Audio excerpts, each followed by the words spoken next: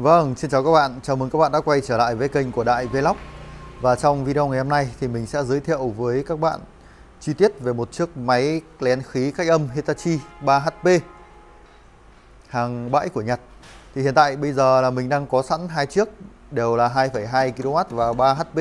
Thì một chiếc là Hitachi bãi của Nhật và một chiếc là Funbo bãi Úc và đã lên thùng cách âm Mary của Nhật các bạn nhé. Thì à, trong clip này mình sẽ giới thiệu sâu và chi tiết về chiếc Hitachi cách âm này hơn. Thì uh, nguyên zin chiếc máy Hitachi à, uh, 3HP như thế này thì màu nó chính là cái màu kem. Như các bạn đã thấy ở đây, nó chính là cái màu kem này nó rất là bẩn. Nguyên một con máy này, cả trước và mặt sau đều là màu kem rất là bẩn nên mình đã sơn lại vỏ cho em nó. Đằng sau là màu ghi tối. Đó. Và mặt trước là màu ghi sáng và mình cũng đã đặt tem để dán lại tem cho chiếc máy Hitachi như thế này. Đó.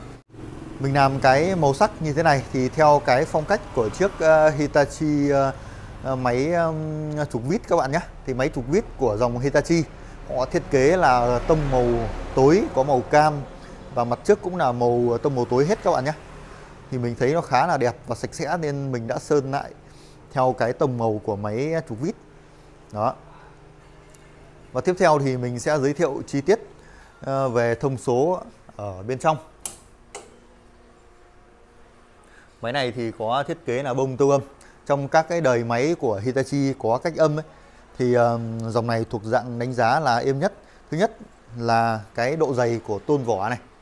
Họ làm dày dặn. Thứ hai là cái bông tiêu âm này, họ có thiết kế thêm sẵn bông tiêu âm ở tất cả các mặt. Đó, mặt hai bên cạnh, mặt Ờ, đằng sau và mặt trên 1 2 3 4 5 mặt đều có bông tiêu âm nên trong các cái dòng cách âm thì đời này thuộc dạng đánh giá là có độ ồn à, thấp nhất và êm nhất các bạn nhé. Còn đời sau à, đời cách âm này thì họ lại thiết kế là có một cái khoang để làm sấy khí ở bên trên đây. Thì đời đấy là tôn vỏ mỏng hơn này, không có bông tiêu âm này. Nên là mặc dù là Hitachi thì cũng rất là êm, nhưng mà mình đang so sánh giữa hai đời đời trước và đời sau thì đời này vẫn được đánh giá là có độ ồn thấp hơn và chạy êm hơn tương đối là nhiều các bạn nhé. Và bây giờ mình sẽ đi vào thông số này.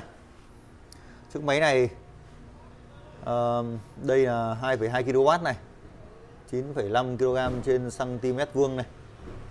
À, đây là về phần xi lanh. Xi lanh là 72 hành trình là 65 nhân 2 piston tốc độ là 730 vòng và tốc độ lạp là 265 lít trên một phút và thông số bình là 38 lít.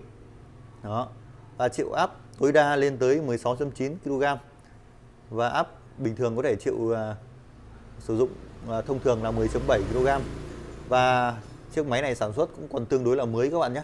Sản xuất vào tháng 1 2011 đó nên là rất là mới. Về chiếc máy này thì uh, mình cũng có tút lại sơn một chút. Thì đối với uh, cái bình này là màu sơn zin này motor này là màu sơn zin này. Mình có dặm lại sơn một chút về cái đầu lén này thôi, bởi vì cái đầu lén này khi về nó rất là bẩn nên là mình đã dùng máy rửa xe áp lực cao để mình xịt vào. Khi mình xịt, mình rửa thì cái sơn ở đây này, nó lột hết ra nhìn trông nó lem nhem. Thì mình đã dặm lại sơn một chút cái phần đầu lén. Và mình cũng để lại cái phần màu sơn zin một chút ở đây này. Đó, để các bạn có thể so sánh được cái độ mới của cái đầu lén này ra sao. Đấy, sơn zin ở đây này, cực kỳ là mới luôn và so với lức sơn mới của mình thì gần như là độ mới là tương đương nhau. Đó, mình đã để lại một chút này. Và đi chi tiết hơn thì đây là hai xi lanh này, hai xi lanh là 72 nhìn rất là to, rất là to và chắc chắn. Nhà tháo luôn ở bên trên đây ra. Ở bên trên đây thì ờ, đây là một cái lọc gió, lọc này mình cũng còn chưa vệ sinh nên nó vẫn còn ờ, hơi là bẩn. Nước sơn ở trên cái lọc gió này vẫn còn là sơn zin các bạn nhé. Đó máy nén khí Nhật bãi thì các bạn cũng cũng đã biết rồi đấy. Đa phần hãng họ không có thiết kế van một chiều đâu. Và khi mà mình sử dụng về, chỉ cần dính một chút bụi bẩn, ví dụ lọc gió này mình làm hở hay là bị ờ, lọc lâu ngày nó hỏng, nó không tốt, nó bị lọt bụi vào bên trong, nó nằm kênh cái lá ở đây thì sẽ gây ra giò van. Giò giò cái van lá ở bên trong đây này sẽ gây ra là ờ, bình khí ở trong bình đây bị tụt. Nên chính vì thế là anh em muốn chơi hết bài luôn như xe máy người ta gọi là độ xe hết bài đấy. Thì ở trong máy nén khí, anh em chơi cái van một chiều này, coi như là tuyệt vời luôn. Ở trên chiếc máy nén khí này, mình đã nâng cấp cho em nó một chiếc van một chiều bằng đồng đồng xịn luôn các bạn nhé. Và cái van đồng này nó to phải bằng ba đầu ngón tay, ba đầu ngón tay của mình. Đó, đường kính rất là lớn. Và chiếc van đồng này mình đã mua chỉ riêng chiếc van đồng không thôi nhé, đã là 500 nghìn. Chưa có một cái công chế cháo gì hết. Và mình cũng nói luôn cái chi phí để chế được một cụm van như thế này. Thì ờ, một cái cụm van như thế này các bạn mua là 500 nghìn này. Một cái đầu co inox này thì các bạn có thể mua cái co đơn giản hơn hoặc mua co như của mình. À, như cái co này mình mua là 40 nghìn này. Thì ờ, khi mà mình chế cháo thì mình đã cắt cái ống của nó ra. Ở đây là một cái đường ống đường kính là 20 và một cái đầu ốc này là gen là 30 thì mình đã tận dụng cái ốc này để mình hàn trực tiếp vào trong cái khúc inox này để mình nắp vào trong bình. Giữ cực kỳ là kín hơi luôn. Thì khi các bạn nắp vào xong thì các bạn sẽ ờ, mua được cái đường ống ở bên đây để hàn vào. Thì đây là vết mình ờ, đã hàn. Đó. Ờ, tổng cộng ở đây là mình tự làm lấy nhá. Thì mình làm đã mất khoảng 900 nghìn rồi. Đây là mình tự làm lấy. Và mình chọn các cái chất liệu bền bỉ và chất liệu hàng đẹp ở trên thị trường các bạn nhé inox là 304 này. Van đồng một chiều cũng thuộc dạng là đắt ở trên thị trường rồi đấy, ống này cũng là ống đồng toàn phần hết. Đó, và van này cũng là van đồng xịn luôn. Và mình có sử dụng cái van này là van 21 các bạn nhé, thì mục đích của mình là ví dụ như các bạn làm ờ, lốp không xăm thì khi các bạn bơm bình thường, lốp xe rất là khó bung ờ, tanh ra. Thì ờ, khi các bạn có cái van này, các bạn có thể xả cấp tốc. Cái này thì mình chỉ lắp tạm thời thôi nhá thì khi mình dùng sẽ là ống 21 ở đây các bạn nhá thì khi mà mình cần xả cấp tốc ấy mình chỉ cần mở cái van này ra, đột ngột, lượng hơi lớn nó bung ra, là các cái loại lốp không xăm, kể cả lốp ô tô luôn, cũng chưa được hết, chơi ngon luôn. Nó bung một phát ra là bung tanh nha. Thì các bạn có thể bơm như bình thường. Nên nếu các bạn làm lốp xe, làm lốp sửa chữa xe máy, phân khối lớn các thứ, thì chỉ cần một cái bình zin 38 lít này là cũng có thể đáp ứng đủ được. Với điều kiện là các bạn phải có van xả cấp tốc như này thì các bạn mới làm được các bạn nhé đó đó là về tại sao mà mình lại làm thêm một cái van như này. Tốn tiền thêm trăm nghìn của mình. Đó. Đó là mình làm thêm vì nguyên nhân là như vậy.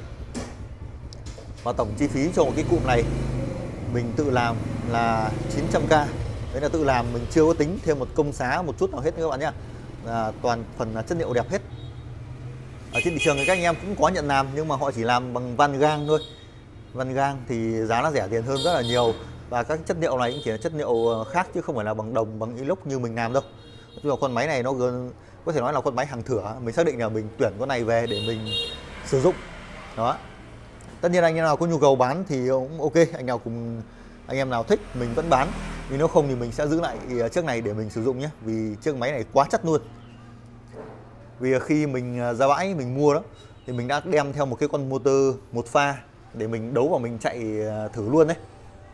Êm thì mình mới lấy nên à, mình đã thử được một chiếc này chạy êm tịt không một tiếng uh, gõ một tiếng lắc dơ nào luôn. Nó uh, tiếng nó xình xịch xình xịch êm chắc lịch như cối đá luôn các bạn nhé. Đó nó là về chiếc uh, đầu lén thế này. Chiếc máy hơi thì quan trọng nhất là cái đầu lén này thôi. Còn các chi tiết khác thì uh, cũng quan trọng nhưng mà không quan trọng bằng cái đầu lén nhá đó đó là về chi tiết về chiếc ngoan một chiều. Ở chiếc máy này motor zin là 3 pha 200V thì ờ, mình có thể ờ, để nguyên như này bán cho bạn nào có nhu cầu mua cả luôn, hoặc là mình có thể bán rời motor các bạn nhé. Bán rời motor thì con mình bán là 1 triệu 8 hoặc bán nguyên cả một con máy như thế này là 14 triệu 800 đó đó là mình đã độ sẵn tất cả các thứ rồi. Độ sẵn tất cả các thứ, về các bạn chỉ việc đấu điện là chạy thôi. Ở đây thì mình không có điện bao pha, nên mình không thể ờ, đấu điện để mình test thử cho các bạn được.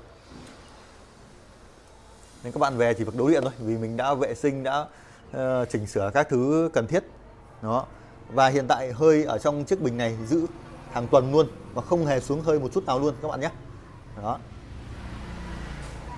Ở trên chiếc máy này hiệu có thiết kế sẵn cái này gọi là uh, khởi động từ. Thì uh, khi các bạn về dùng uh, khởi động từ thì uh, mình có để sẵn dây để đấu ở trong cái uh, dơ le chỉnh áp ở trong đây. Đó còn à, phần motor motor thì ở đây có 3 dây thì các bạn có thể đấu 3 pha ra motor luôn, hoặc motor một pha. Các bạn đấu vào hai đường này, xong thì các bạn nào có nhu cầu thì có thể liên hệ cho mình để mình hướng dẫn chi tiết hơn. Về phần à, bộ điều khiển thì à, bộ điều khiển ở đây nó là điện tử. Ở đây thì hãng họ có thiết kế một cái bộ điều khiển điện tử để đóng ngắt cho motor hoạt động. Thì mình đã thử qua cái tính năng ở trong đây, họ giới hạn rất là cao. Ờ, 7 cân 9 là bắt đầu máy chạy này. Máy chạy là bắt đầu đến ờ, 10 cân rưỡi là máy ngắt. Áp nó rất là cao nên thì mình đã không sử dụng nữa và mình đã lắp bộ ờ, Zelea cơ như thế này để mình điều chỉnh trực tiếp bằng tay thì mình có thể giới hạn cái mức độ áp suất khí nén nó thấp hơn để nó không gây hư hại cho các cái đường ống của mình. Thì mình đã bỏ cái chức năng này đi. Và hiện tại mình sẽ chỉ giữ lại cái đường này, nó là đường báo đường báo kg thì cái đường ống này là lắp vào trong đây. Thì khi mà mình đã tháo ra vệ sinh thì mình đã tháo ra. Thì, uh, các bạn mua thì uh, mình sẽ lắp vào đây. Và đường ống đó chính là báo kg này. Nó báo hiển thị ở trên đồng hồ số đây. Là báo kg báo số cân ở trong bình nhá. Chiếc máy này hoạt động là 10.000 giờ. Đây là đồng hồ zin này 10.000 giờ. Thời gian hoạt động thì cũng khá là ít thôi. Đó. Và công tắc là on off này.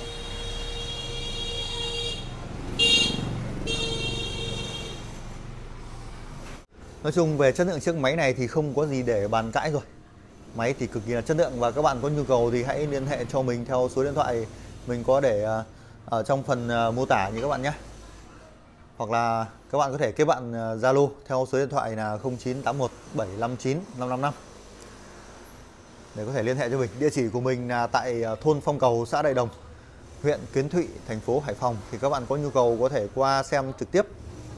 Đó. Các bạn thấy hay thì hãy à, cho mình một like và đăng ký để mình có động lực làm thêm các clip tiếp theo cho các bạn xem. Cảm ơn các bạn đã quan tâm. Xin chào các bạn.